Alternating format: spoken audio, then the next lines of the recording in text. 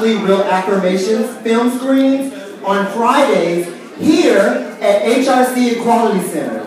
Uh, the next one that we're talking about is Water in a Broken Glass on May the 11th. Uh, and tickets are available at realaffirmations.org. And where is this going to be located? I got a phone. Okay. Here, yeah. I like your face. You were like, uh, here. So, um, how many of you guys are single? If you're single, raise your hand. Single, single. It's okay. Yeah, it's good. Look around. All the single people look around at the other single people. You know, just in case you want to give them a push up, get a number or something.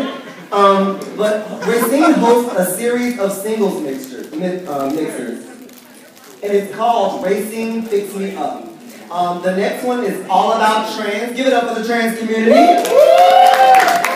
It's a mixer on May the 17th at Shaw Library. Now, where is this mixer? Shaw Library. There you go, on May the 17th.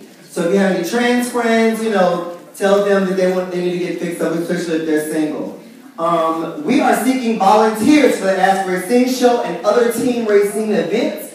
If interested, please speak to our production director, Zar, who's in the back. Everybody look at Zar and say, Hey Zar! Hey, Zar. Yes, that's Z-A-R. Z is in zebra. Z is in zebra. Okay. Important. If you would like to make a shameless plug, please line up to the right after Rayceen is introduced. So this is over here. Is that you? Do you know what a shameless plug is? I got more than one. Okay, yeah. So if you have a business, an idea, something that you would like people to go to or watch or listen to, you'll come up and you'll get 20 seconds to plug it to the room. Understandable?